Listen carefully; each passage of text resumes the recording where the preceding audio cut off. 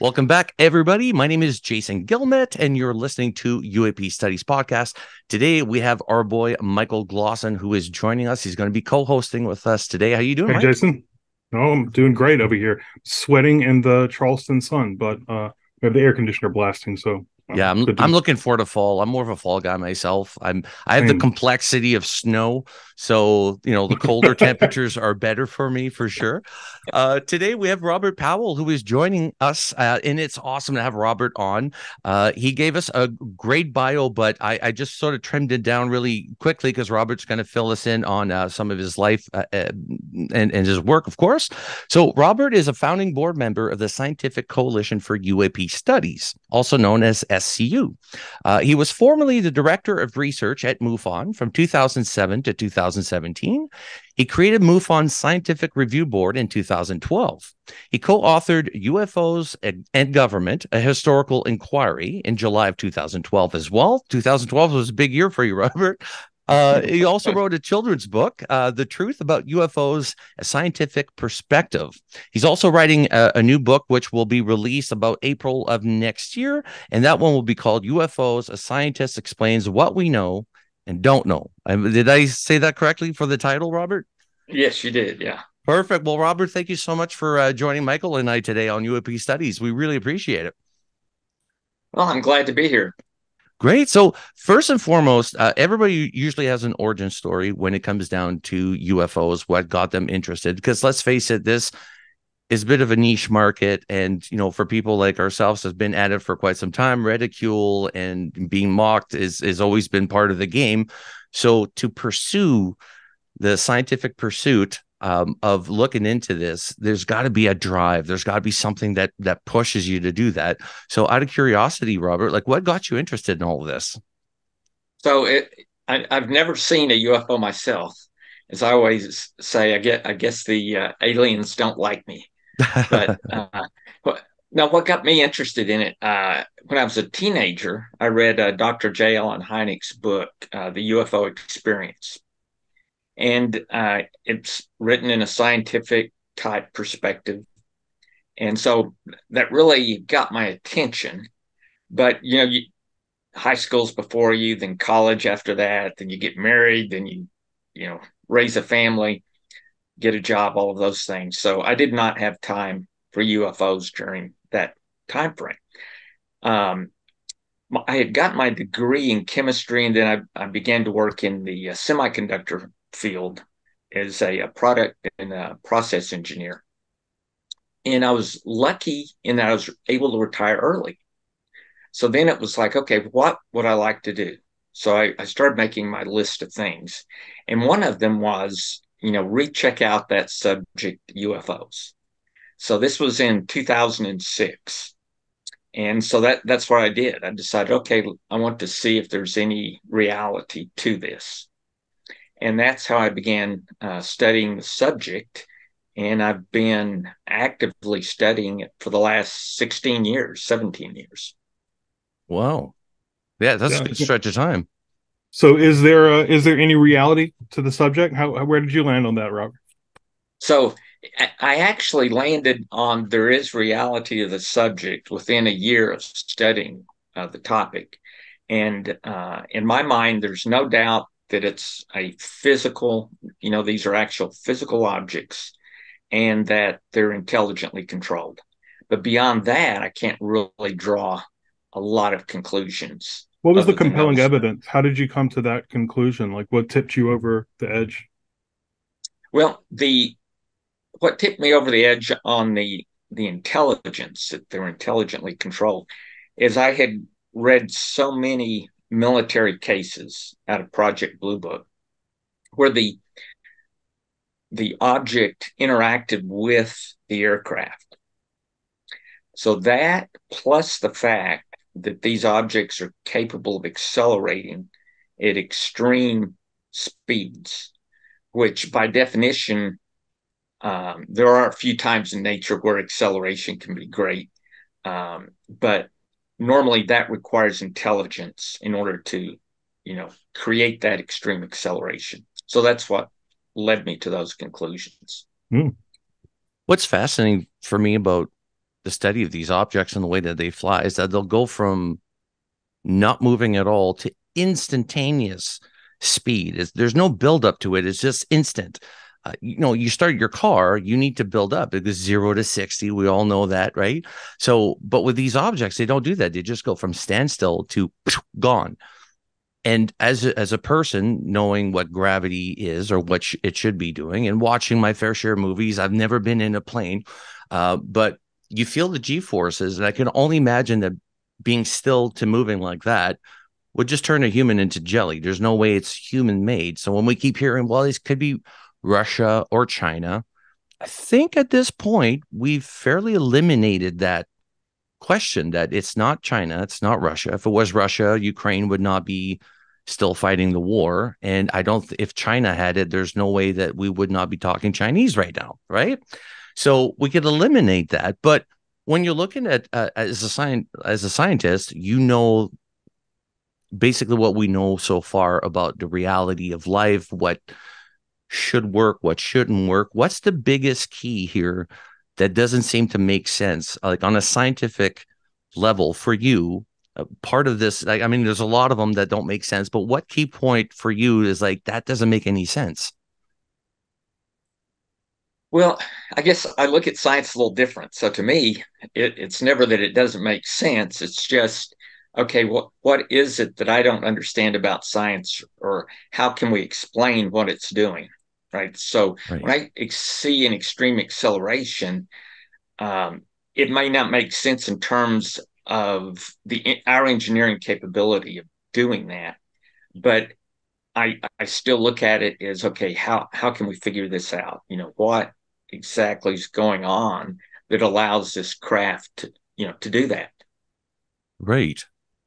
And yeah. and what is it that you think is going? So so maybe first it would be best to say that I'm maybe more of an outsider to this topic than you and Jason are. I came to it fairly recently, within maybe five years or so, and I also come to it from a humanities perspective rather than a pure science perspective. And as a philosopher, to me, I kind of like to divide claims or information into a few buckets. There's like one bucket of claims that are just unquestionable, right? Like, so when we say, for instance, that um, there are objects that seem like they can just instantaneously accelerate, um, they can pull five Gs within a, a second or two or something, that to me seems like a claim that is not open for skepticism, right? i it seems like we have locked down that some such thing exists based on all of our military sensor data.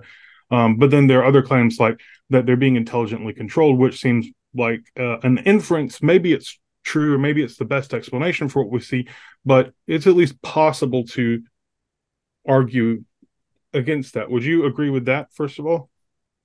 Well, I, I look at it a little bit different, Michael. I um, take for example, if let's assume I did, had no idea what an airplane was, and I saw an airplane flying through the sky for the first time, I, I would I would be fairly confident that was intelligently controlled. Um, and when I have an object that can go from standing still to suddenly accelerating out of my sight within two seconds, for example, then I, I feel confident it's intelligently controlled uh, because and the reason I say that is I'm not aware of any living creature that can do that or any type of uh, atmospheric phenomenon, whatever. Yeah, that can do that. So that's so, why.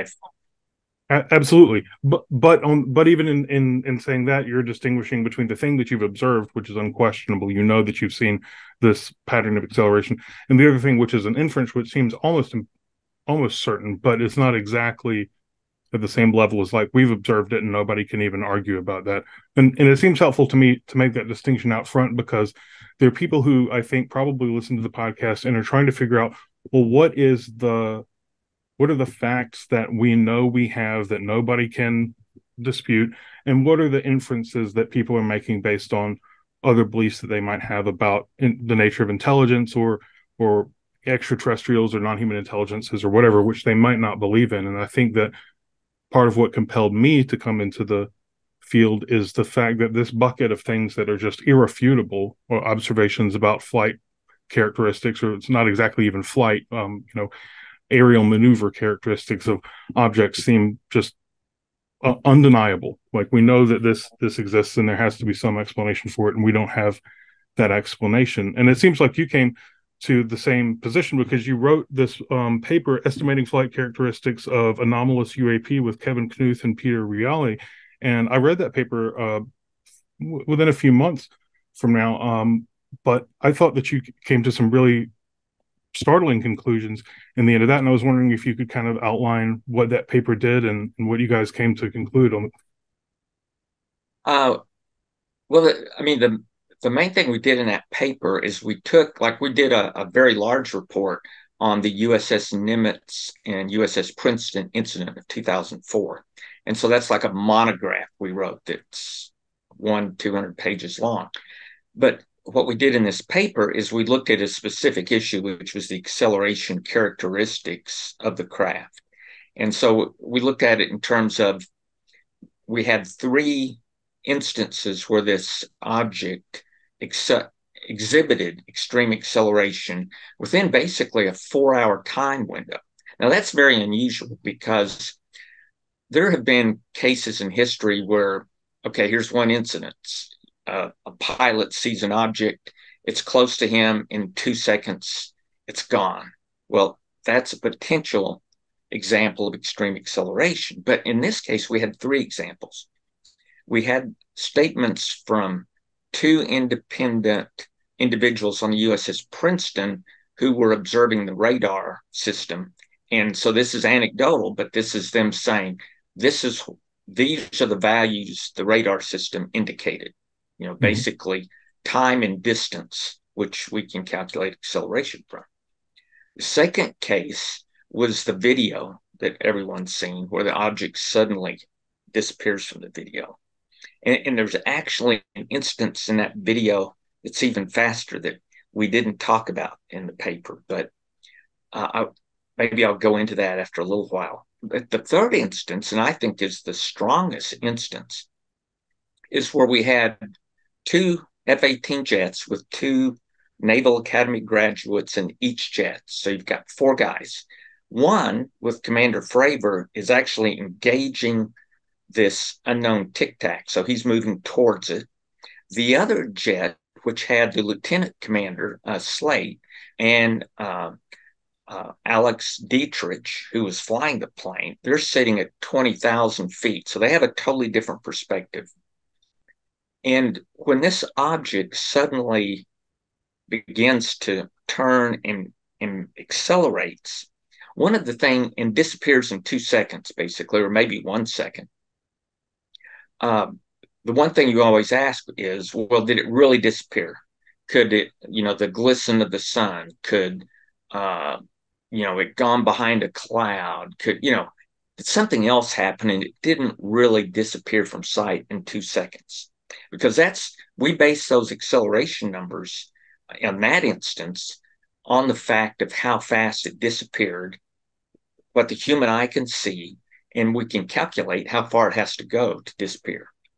So, but all those things that make you wonder, did it really disappear? Those are eliminated when you've got two two observers from two different perspectives looking at it. So mm. now, you know, the glint of the sun, uh, all of those are eliminated, and and you're left with a situation of it actually traveled a distance where it was so far away you could no longer see it. And and so, last question: What are the what are the actual flight characteristics that that object exhibited in in those three sort of observational instances? Like, what do we know about that thing? So the the the key flight characteristic is it is it displayed the ability to basically go from standing still to accelerating, depending on the particular case, anywhere from 100 to 1,000 G forces. And, and the aircraft, a, a normal aircraft will break apart at 15 G forces. You and I will pass out at 6 G forces. At 100 to 1,000 G forces, we're just going to be liquid mush. Any aircraft that moved at that acceleration and at those speeds, which was in tens of thousands of miles per hour, would become a fireball in the atmosphere due to the friction. But none of but that didn't happen. And we don't, you know, we don't know how an object can accelerate through the lower atmosphere at that kind of speed. Uh, so that that's the I'd say those are the two key characteristics uh, that this exhibited. One was acceleration. Two was the ability to not interact with the atmosphere. And this is exactly the sort of information that kind of pushed me over into thinking there's there's actually a there there, but because it seems like whatever interpretation you have of it, it doesn't really matter. We know that these observations do take place and that they're veridical, they're reliable. So there's something out there that's doing things we, we just can't do. I mean, it should melt in the middle of the air from the just from the friction alone. I think that's just startling. It's but, not just that they could do that in the air, but they'll make you know right angle turns. They'll just like all of a sudden at, at that speed, or they'll uh, go mm-hmm. into the water. It's like oh, I I'm blown away personally. I don't know anything that can do that. Like that's human made. I always make the joke that I'm 42 years old. I have 42 years of experience being a human. I'm a human expert at this point, and I don't think any of that technology. I mean, I, I had a close encounter when I was a kid, and that thing was not man-made. There's no way it was man-made. Uh, and it sort of solidifies for anybody who's ever seen one or experienced one. In, in the case of you know military officials, you know for a fact that we are way, way under that pay grade. We are not meant to know that they're way above us. And what fascinates me is that the speed at which you're describing, uh, Mr. Powell, that these things are able and capable uh, of achieving. We have thousands of planes in the sky at any given moment, right? Even now, as we speak, or as you're listening to this podcast, there's thousands of them. And all these pilots reporting these near misses or close calls with these objects. And yet we haven't really had a confirmed down aircraft because of a crash or collision with something that is in the sky. So whatever they're doing, what whoever their pilots are, they're amazing at avoiding you know, catastrophes in the air. And that that shows intelligence. If it was a drone, I, drones mm. can make those decisions. That's so, a good point. Yeah, there seems to be definitely an intelligence behind it. Um, one theory that I, I, I want to uh, discuss with you, uh, Mr. Powell, is that some people claim with alien abduction cases, and, and I'm huge in alien abduction cases. That's where I specialize in or want to specialize in. But a lot of them describe sometimes being able to fly the craft or that they're shown how to fly the craft, and it's based on consciousness, that their consciousness is extended to the, the craft itself and that these crafts are, are, basically the consciousness of the driver. So that's why they're able, like even uh, Fravor was mentioning as he was descending down, this thing almost looked like it it knew it was coming behind him, like it turned around and then started doing its counter move. It's quick. It's almost at the speed of thought. These things could, you know, you're mentioning the speed at which they go. It's like the speed of thought. I want to be here, and there you are. That like you just go. It's amazing that we have no air collision with actual aircrafts. Do you have any theories on that, sir? Oh, as to why we have never collided uh, with the UFO. Uh, well, for one thing that I look at is right. We don't know that absolutely because I guess if if you did have Point. a collision and your plane was destroyed, we would never know.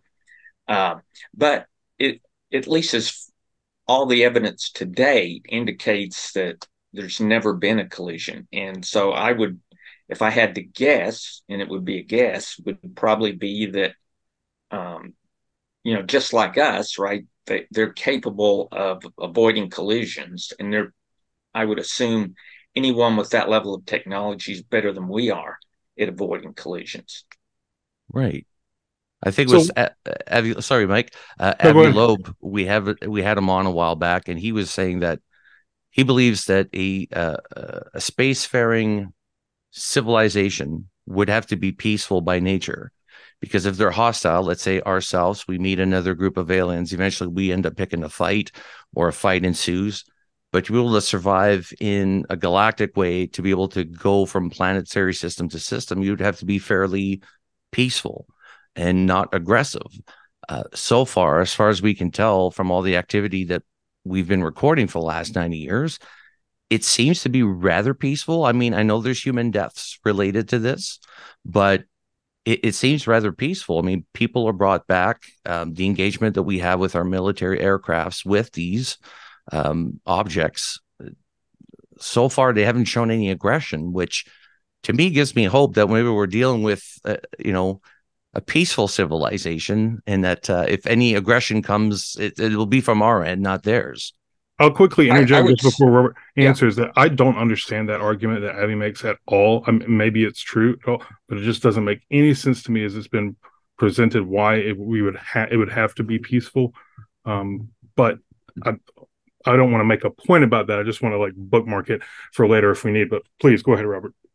Well, actually, I was going to comment on that part of of, of what Jason said. Michael was, uh, I I suspect that they're peaceful, but not for the reason Avi mentioned, um, but for a slightly different reason. And using us as an example, although I try not to be uh, too human centric, right? Because other things may not operate like we do at all. But if you look at our civilization, we developed the capability of destroying ourselves about 60 years ago. We didn't we will not have the capability of interstellar travel probably for at least 200 more years. If you assume most civilizations, the same thing happens, that they're able to destroy themselves before they can travel to the stars, then your malevolent or or civilizations that are aggressive are more likely to destroy themselves before they ever leave their planet. Mm. And and we're in that situation today right? Oh boy, if, yeah. If we can, if yeah. we can make it to the stars, then we will have to be, become more peaceful. Otherwise, we'll probably be gone before that time ever comes. So that's why I think it's more likely that uh, you know they're benevolent or and peaceful. Hmm. Um, now that doesn't mean that they have to be right. And just because nothing has happened in 80 years doesn't mean necessarily that they're peaceful, although it improves the odds because I see everything in shades of gray. So I just think it's highly likely that they're peaceful, but there's no guarantee that they are.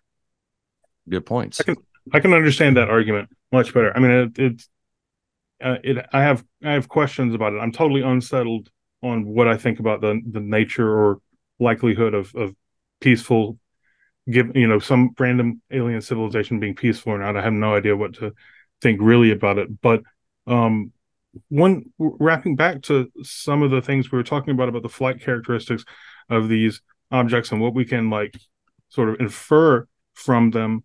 Uh, we've had to in order to like pursue that question of like what we can infer about the flight characteristics we've had to kind of like start defining what we mean by a UFO much more precisely now that there's like legislation and and offices to report UFO and UAP, um, and that has created a kind of wonky nomenclature now where we have like okay they're UFOs or they're UAPs and there's a UAP office over here and we're the UAP podcast and you're the head of SCUAP and I'm and but then we a sometimes means anomalous and sometimes it means aerial. And for people who are trying to get into this like why did we abandon ufo in favor of uap did we actually make that choice? Um what are the advantages and disadvantages of these nomenclature? And like how do we move forward to talk about these things in a sensible way? Yeah that, that's a, a great question. So for the audience that's not familiar maybe with the recent history um in the very beginning these objects were called flying saucers. And then there, there was a lot of uh, uh, stigma that developed around that term. And so they changed, the Air Force changed the term to UFO, unidentified flying object. And then stigma developed with that term in the late 1950s and continued on to modern day. And the reason UAP came into existence, and so you don't really have to worry about was it aerospace, was it anomalous? The the basic thing is let's change the term away from UFO to get out of the stigma. Um, we did that with SCU. we, we had a long debate. Are we the Scientific Coalition of Ufology or are we the Scientific Coalition of UAP Studies? And we fell on the side of UAP because we're a scientific group and UFO had too much stigma. The, the other example is the UAP task force, which the government ran. A guy by the name of Jay Stratton headed up the UAP task force from uh, roughly 2015 all the way to 2021. He's he did a lot of the briefing of Congress, and he had stated the reason that he changed the word to UAP, and, and that's why they're called the UAP task force and not a UFO task force, was he did not want he did not think he had much chance of going to Congress and briefing them on UFOs hmm. because of all the little green men, the little gray men stigma that's attached to the word UFO. And so that's why we ha- now have the word UAP. So there's like two sides to it. There's the the technical verbiage side where it's like um, people might be concerned that uh, unidentified flying objects isn't technically correct because some of these objects don't fly they hover or they they don't seem to propel themselves in the way that we think of as necessary for flight. They don't have flight surfaces that give them lift or whatnot. Um, but then maybe it seems like the the consideration that has had the most power over it are really just these like rhetorical questions about whether people laugh when you bring up the word UFO, and that is what you think has like kind of pushed the verbiage the most. Yes, absolutely. I, am I'm, I'm positive that's what's pushed it the most was the uh, rhetoric, not the uh, science behind it.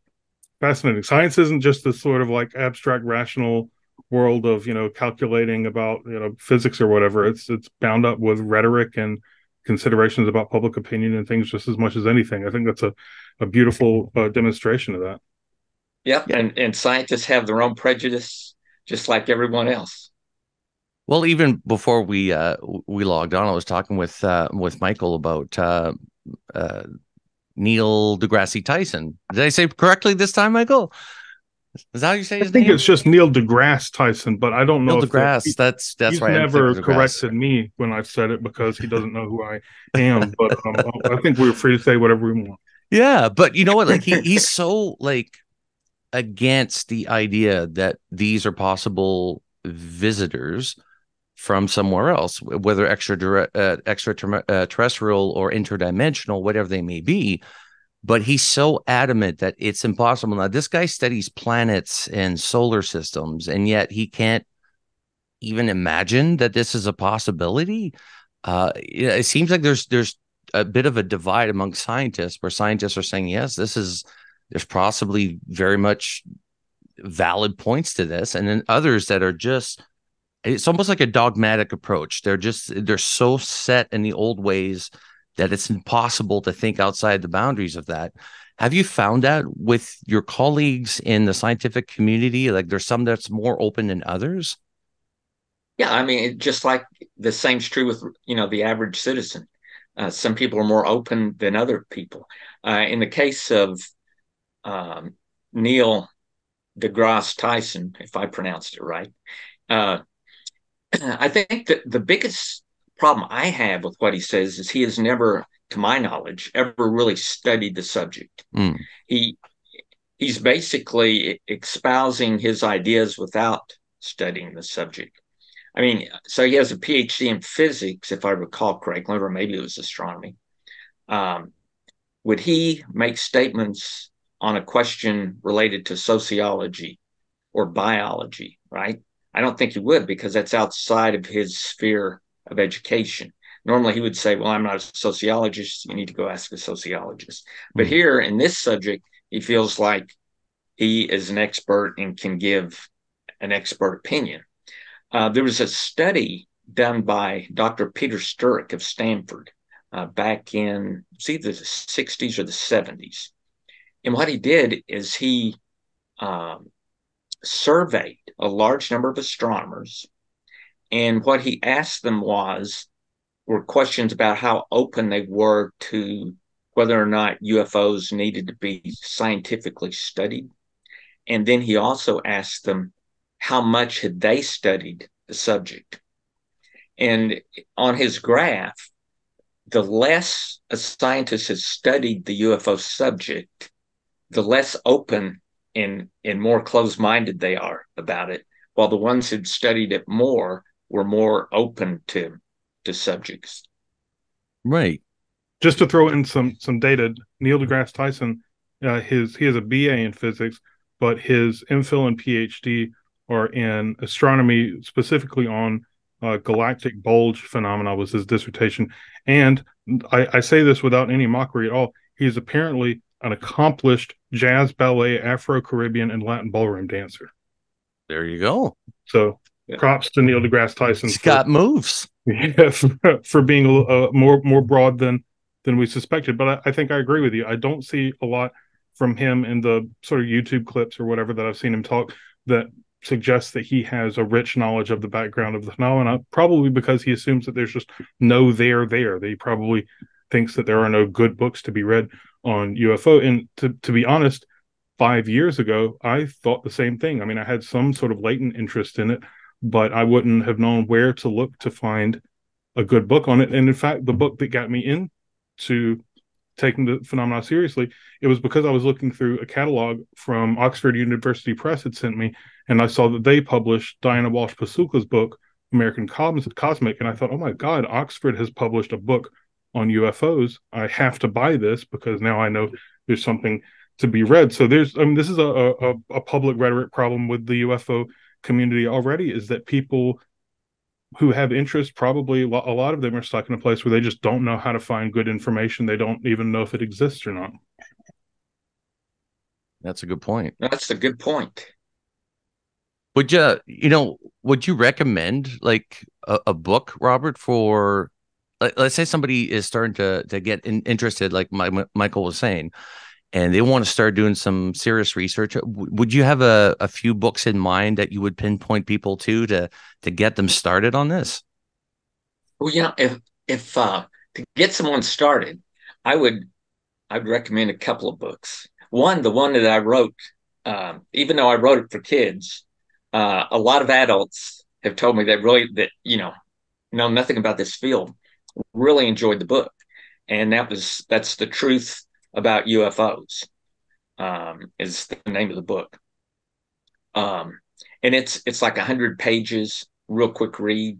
And basically, what the book has in it, it has a dozen very um, interesting cases that are some of the better cases in history. And the book just goes into some basic things, such as everything is a UFO when you first see it. Like the first millisecond that your brain sees a jet plane, there's a split second you don't really know what it is, and it's a UFO until you categorize it. And that's true for everything we see. Um, but what's left are the ones that, you know, are are the true UFOs that we can't categorize them, and we're confident of the information that we have, and the, and that we have sufficient information that we should be able to categorize them. So that's a good book. Another good book, I think, is also Hynek's book, hmm. uh, The UFO Experience. Uh, I don't think it's too uh, complicated. Um, a, a, third one I would recommend is Peter Sturrock's book, The UFO Enigma. And I, I think that's a good book to read. Now, if someone wants a very more collegiate uh, reference book, uh, the book we wrote, UFOs and Government, a historical inquiry. That's like 600 pages of an 8 by 11 uh, textbook. And it, it goes through the way the government reacts with the phenomenon over history. Yeah. And, all over the world, not just the United States. Yeah, because it fantastic. is. Yeah, because we put is, those in the episode description? Yeah, I, I wrote them down, but uh, yeah, maybe we'll make a checklist at the end. We'll write them down in the uh, uh, description as well. Uh, I was going to say with the governments, that's the biggest problem too that we face, only in the scientific community like yourselves, but working together globally on this issue would be the best way to go about this. But we all know that's not going to happen because everything is classified when it comes down to governments Russia is not going to release to the United States their information on this, nor is the United States going to release to China their information on this. But this is a, an issue that should be globally looked at. Um, I often say that you know we see like a company that's trying to think outside the box and they invite the public, the general population, to help them out solve a problem, and they do because there's brilliant people in the world. There's you know that, that are willing to help out. And if we did that with ufology extended it so everybody can contribute we'd get further along faster than classifying everything and just having people uh, compartmentalize to work on this and you work on that. Like it's so complex that it requires more people than we actually have right now working on it. But it's great to see the scientific community like taking the helm on this and going we're not going to wait. We're not going to wait till the government okays this. We're going to look into it.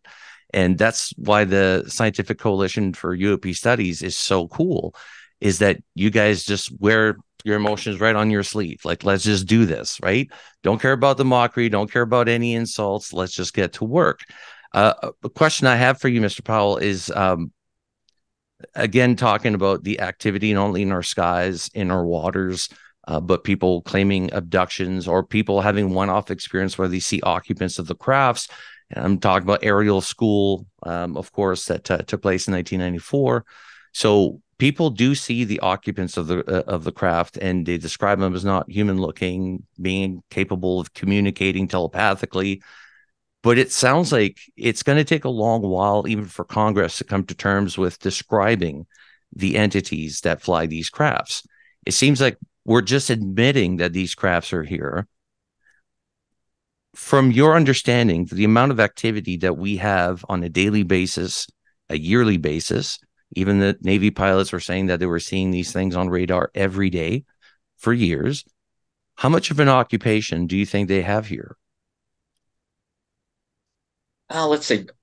That's a good question, Jason. But before I answer that, I just want to make one quick comment on your Please. national security portion. And that is, I think what Congress could do more than anything would be to allocate specific funding, for example, to the National Science Foundation, to state that you have to use X amount of dollars for UAP uh, programs and, and with your grants, so that that will get academia involved in the study of UAPs. So if we can get the scientific community involved, then we can begin to take it away out of the military slash national security arena because mm-hmm. that's a that's more of a closed information system and science needs an open information system Good point. Um, now to, to your your question about um, you know UFOs and, and the craft and how often they're here. I I don't have a a real good feel for that. We we have about 5,000 reports that come in just the United States every year. Wow. But of those 5,000, there are only maybe 150 of those 5,000 are, are probably real reports. The other are misidentifications of known objects. So then when you deal with those 150, a certain percentage of those, there's just not enough information right. for that particular incident to be able to say, you know, was this truly, you know, potentially a uh, a craft from somewhere else? Um, for me, it's the cases where the object's very close to the witness, um, and it exhibits, you know, something like extreme acceleration, something like that, for me to know, okay, this is a very good example of a potential intelligence that was here in our atmosphere. And I, am just going to to guess it's just a handful a year would be my mm-hmm. guess. But the, the problem is we we don't really have the data to be able to answer that question properly. Yeah, even globally, I wonder what the numbers. I mean, we're not going to get that anytime soon, but just globally, like the amount of activity that takes place, it's it's amazing. And I keep thinking, like, would it be easier for them to just light travel to come here to do one trip, or do they have a base nearby that's just easier for them to come and go as they please? And that brings about a whole new question because if they have a base, where is it? I'm curious now. I want to know is it in the ocean? It's uh, behind the moon? Where is it? Uh? But I'm always curious about that because space is so vast that even if they could travel at light speed, it would still take a long time to arrive to their destination. So they would have to have some sort of operation closer to us. I mean, if they're interested in us and they're constantly here, they would have to have their base of operations fairly close to be able to come here and as they want. I mean, that's a possibility. Um, but since we don't know how they travel, you know, it's, it's difficult to, you know, to say. Yeah. Um, Do you have leanings in that regard? Like, I mean, what, so what we have is a set of observations that suggest that there's some intelligently controlled um, objects. we we tend to kind of think of them as craft, but I don't think we have evidence, sufficient evidence in those observations to tell us whether they're craft or something else that we might not have the right category for. But we have those observations, and behind that are all of these inevitable questions like what's controlling them, where are they controlling it from? Do they have occupants? Are they remotely controlled, or are they themselves intelligent somehow? Are we looking at a being more than a craft? Um, are they you know are they are they psychical in nature somehow are they transdimensional all those questions seem so speculative at this point that it kind of i can feel like the bristles on the back of my neck kind of saying oh you're wandering into like silly land here but they're not because it's you have to eventually ask some of those questions and i know that you don't have answers to them but given all that you've seen I mean you've been involved in this for since the 70s i think so, well, no, I've been studying it for 16 to 17 years. Yeah. Okay. So, so given that breadth of experience, do you have leanings, um, not not definitive positions that you hold, but leanings in one direction or another towards answers to any of those questions, like what the basic nature of these things is? Yeah. So, so my leaning is that they are from another solar system rather than interdimensional or time travelers or anything like that. Now, Why? Why why that instead of time travel or interdimensionality or that they've always been here? Right. In the in the the why for me is because we've already discovered six thousand extrasolar planets, and, and that's with a very limited capability. The the actual number is probably going to be in hundreds of thousands of extrasolar planets. So, and because life is so you know so common throughout the universe that that is why, you know, I believe it's most likely uh, by extra. I mean, extraterrestrial just means not of the Earth, which mm-hmm. Another dimension would be extraterrestrial. But I think it's more likely from other solar systems because of that. Now, doesn't mean it has to be. The, the others could be just as true. It's just that I fall on the the side of that one because there's so many planets out there that we know of now. Do you tend to think that they have that these objects have somehow found a loophole around the the limit of speed being the the speed of light? Yeah, I think uh, either they've found out how to to warp through, you know, a a, a tunnel in space, uh, like a, war, a wormhole type situation. If that's what I suspect. Uh, I mean, it's possible that they're just traveling at near light speeds, but I would suspect that they're doing it faster than than light speeds. And near near light speeds, if they're traveling to the closest star systems, it would be you know a handful of years one way. Um, and we can imagine beings that are sufficiently, um, I don't know, have sufficient control over their own biology or minds or something that maybe a four year trip wouldn't be as taxing or as much of an impediment as it would be for us who have to like you know sleep only eight hours a day or or something um but yeah so you, actually you, go ahead it wouldn't be it wouldn't be taxing at all actually because if they're near light speed like alpha centauri's 40 light years away so if we were observing their craft it would take four years to four get years, here yeah. mm. but for them depending on how close to the speed of light they were they were at because the closer they are to the speed of light the the more time slows down. Um, so for uh, so for them, it could be two hours to go from Alpha Centauri t- to us. And that now, two hours would basically be the the acceleration and slowdown speed approaching the speed of light, right? Because once you get there, it's like nearly instantaneous or something. Right. Once you got to the speed of light, time stops. So now you don't age at all.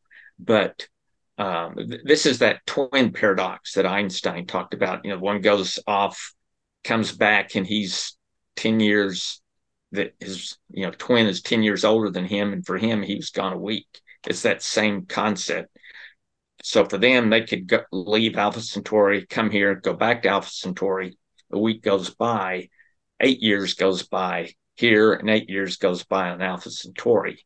Uh, so if you had a true nomadic civilization right then you could go all over the galaxy uh, your problem is when you get back to your home world everybody else. Hundred thousand years could have gone by, and everyone's gone. Sure, yeah. and and it seems like in the conclusion of that paper estimating the flight characteristics of anomalous UAP, you come to the conclusion that the observations we make suggest that that that sort of acceleration capacity is exactly what these uh, these objects have is the ability to creep up to the speed of light pretty fast and then it decelerate pretty fast too so that they could make a subjectively from their perspective, a very quick trip between you know right. four or five light years away or something. Right. Amazing. I uh I'm a huge fan of Bob Lazar. I think that Bob Lazar is telling the truth from the start. Always have. Um, people have different uh, ideas on him, but now with Grusch coming forward and saying no, indeed, the United States does have reverse engineering program. In fact, we have recovery programs, crash recovery programs this is why when the balloons went down um, earlier this this year, I thought it was ridiculous. I said, "Oh no, it's too far. We can't. We can't." These guys could go in the Himalayan mountains and retrieve a craft if they wanted to. Like that operation, they know what the hell they're doing. So if something lands in the water, it's not a problem. They'll go get it. So I thought it was funny when they said, "No, no, they crashed, but we can't. We don't have the evidence. We don't know." It's like, dude, you have retrieval programs. That's what you do. But hearing that now, uh, that we are trying to reverse engineer this technology that is not from here. It's not Homo sapien technology. How confident are you, Mr. Powell, that we're able to even reverse engineer to the capabilities of being able to replicate how they fly with our own technology? And do you believe Grusch and and to some good question, Lazar? Are you yeah. in the same place? Yeah. So Lazar, I, I don't believe, and I don't believe it myself simply because element 115 lasts for one millisecond or less. Um, and that element did not exist when he was first talking about it. Now we know about the element, but it's like all of them when they're that heavy that they their length of existence is just very momentary. Uh, additionally, I've had uh, two individuals, uh, both Jay Staff uh, Stratton, who's the head of the government UAP task force at Brief Congress, as well as Hal Puthoff. Uh, both of those gentlemen, you know, believe that we have craft that in our possession, but both of them also do not believe that Bob Lazar is correct in anything he says. So, so that's my answer on Bob Lazar. For Gr- uh, Grusch, um, I'm 50 50 on that is is to where and, hmm. and, if you had asked me that one year ago, I would have said I was less than one percent.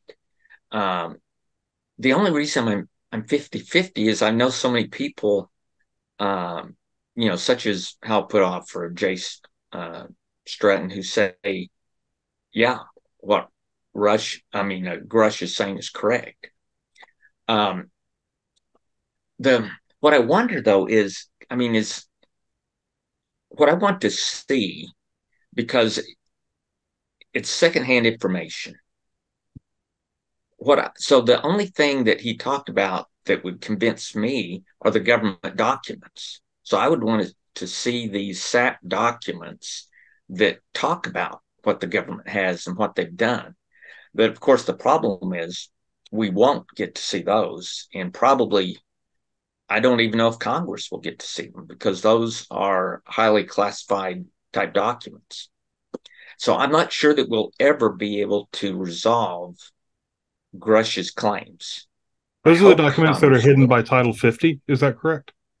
Uh, yes, they're, they're, you have to have a certain uh, need to know in order to see the documents. Uh, so I, I don't, I'm not even sure how Grusch was able to see the documents, you know, but apparently he was. Um, Is there so, any legislative door to getting the Senate committee that's responsible for looking at this, giving them access to the things that are covered by Title 50, or is that a non-starter? You think? I, I think the only way Congress will get to see those documents is if they threaten the military by cutting off their budget, some of their budgets. That's I think they would have to go to that extent. And I don't know that they will, right? Because all your representatives and your senators, their states all have various gigantic military defense contractors in their state. And so there's all of these pressures that can be put on the congressman. So I'm I'm hoping Congress will be successful, but I'm I'm not, you know, overly optimistic on that.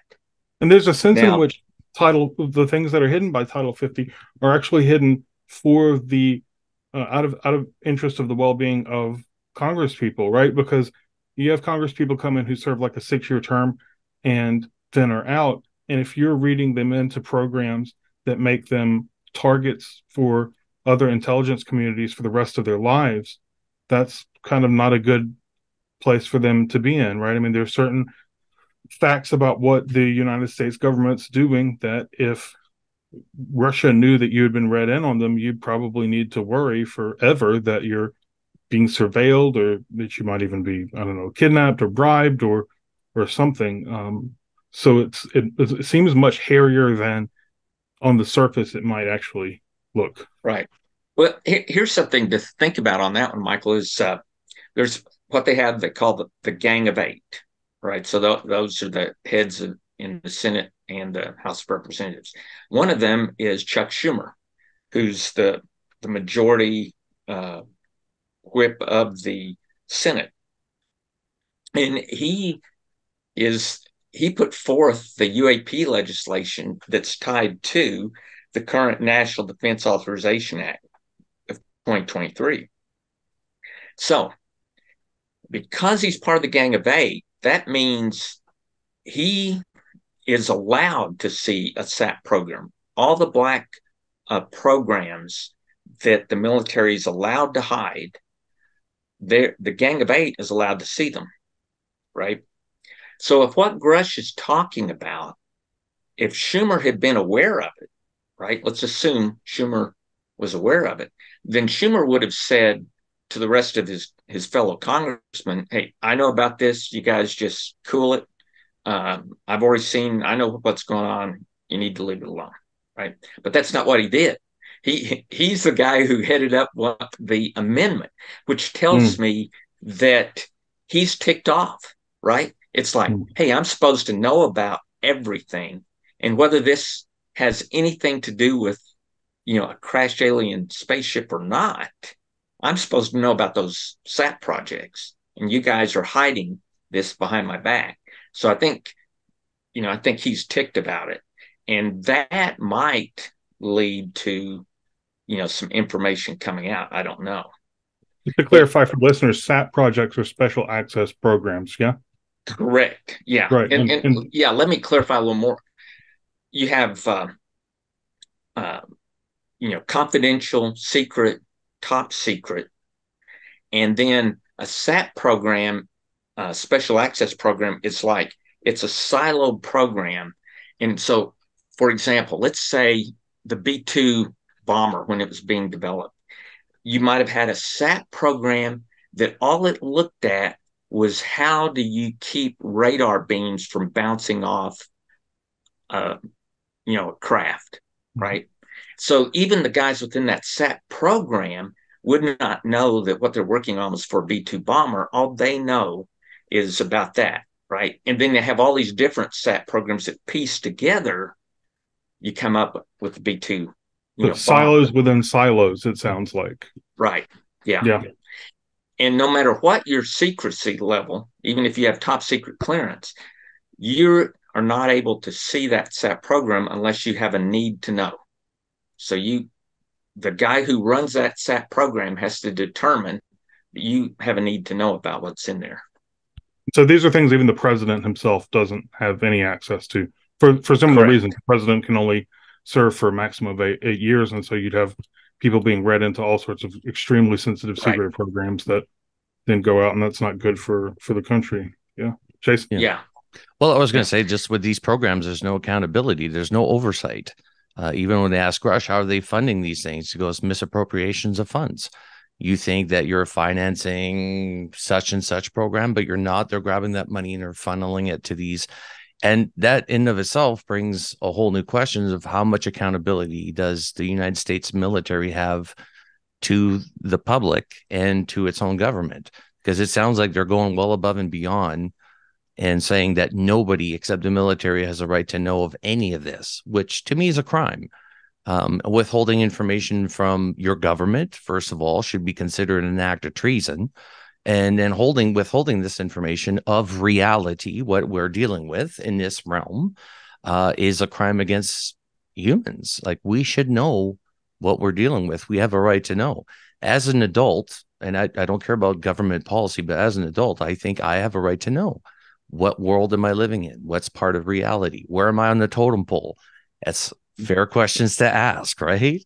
Um, before yeah.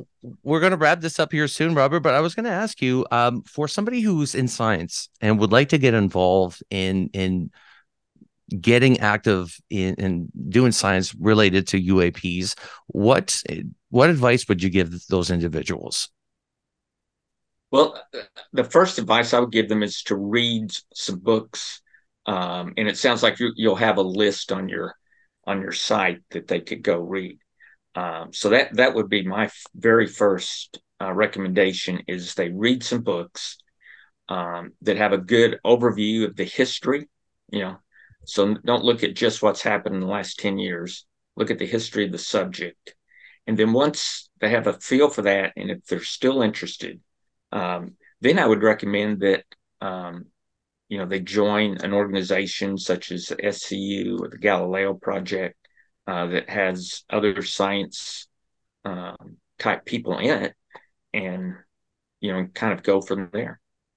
Nice. And your newest book, Michael. I know you were going to ask him about his newest books. I'll let you ask his uh, uh your questions, or Mike. Oh, your sound, Mike. Yeah give us a rundown on what your newest book is about and who the audience is and what you're trying to to do for them in it right so this newest book is called ufos and then um, it's a scientist talks about what we know and what we don't know uh, the book starts off and it's geared towards someone who has probably a science background but doesn't have to have a science background but it is a good critical thinker. And then, so basically, the book begins by giving you a, a, a history in the first chapter. You know, here's a history of the phenomenon to give a person a flavor of what's been going on. And once I go through the history of it, I, I talk about the reality of the phenomenon that it's it's not just a figment of people's imaginations. And in that chapter, I go through some statistics, uh, you know, uh, historically of sightings. And from there, I talk about some of the unusual aspects of the phenomenon, like electromagnetic interference, high acceleration, uh, light beams that bend. Um, and, and then I begin to talk about how the phenomenon affects humans, how it affects the media, how it affects the government, right? How it affects someone who actually sees the object. And I, I do that based on uh, experience with people that I've interviewed. Uh, and then it, it also talks about what we need to do in the future, right?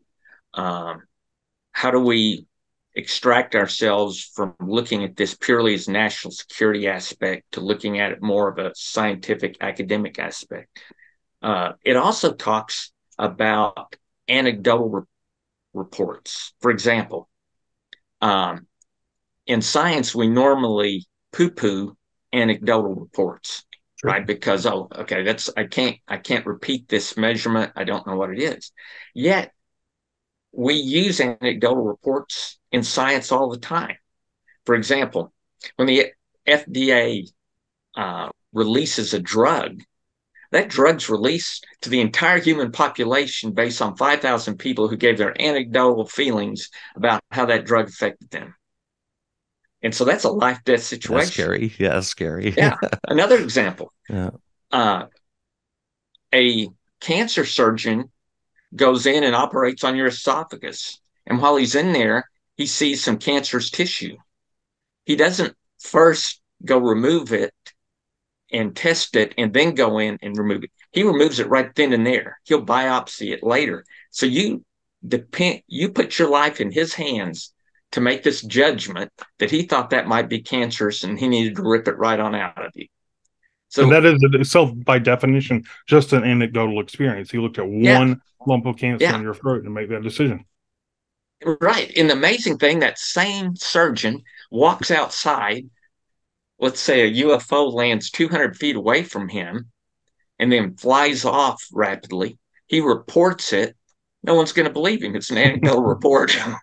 This is the reason why I wish scientists would read more about the history of science, because the history of science is itself as messy and disorganized and anecdotal uh, as as anything you could imagine. I mean, it's really the the absolute apotheosis or antithesis of what uh, what we imagine science to be. Yet it works. I don't think that that was bad science, but um, but science just doesn't have the sort of like formal preciseness that we kind of imagine it does in fourth grade when we're told that there's a scientific method that every scientist applies across every right. discipline and it's always the same and stuff. So I love that. I love that there's a that you're presenting a rational, thoughtful discussion of the the value of anecdotal evidence. Um, and there's a, a, bunch of topics that we didn't even get to today. So I think we should have you back on because I really want to ask Part you about two. religion and and whether there are whether there's a, a a sort of natural and antimony between religion and, and science or between religion and the UAP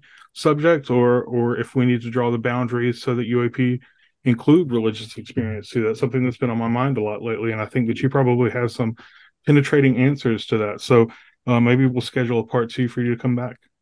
Yeah, I'd love to talk about that. And I'd also love to talk about uh, the hard sciences and soft sciences and how those get, get along with UAPs. Well, let's Absolutely. do it. Let's do a part two. Um, what we'll do is we'll shoot you a, a message maybe uh, later today or tomorrow, and we'll try to schedule uh, a part two for for all of us in the audience to be able to listen. Uh, Robert, seriously, sir, it's been an, an honor to be able to talk with you and to be able to uh, to learn from you. Uh, this is what this podcast is all about. It's about learning from people like yourself, um, and and Michael as well, like learning from all aspects and disciplines because that's what's needed, and we need to keep an open mind on every aspect of this phenomenon until we can find out more information, get more solid footing. We need to look at everything and keep an open mind, not necessarily toss out the baby with the bathwater. Um, we mentioned before, I think on Michael's episode, that philosophy and science used to be together, but it separated at some point but the UAP subject brings them both back together, which you have no choice but to put them together to make it work, which I absolutely love, which is awesome. So, Robert, thank you so much. Michael, thank you so much for being the co host today, my man. Absolutely. I appreciate it. Great questions. And for the audience, we're going to uh, obviously add the book titles that Robert mentioned. Uh, also, we're probably going to do a Q&A on this episode on Spotify, so make sure to look for that. We are doing a new YouTube channel as well. So, so the previous YouTube channel won't be uh, your go to anymore, but we'll uh, give you that information on Twitter and Facebook when that comes about. And again, thank you so much for Robert Powell and Michael Glosson today for uh, coming on the podcast. This has been great. I'm looking forward to part two, and uh, we'll catch you guys on flip side. I enjoy talking to you guys. Thanks, Michael. Yeah. Thanks, Jason. Thank you.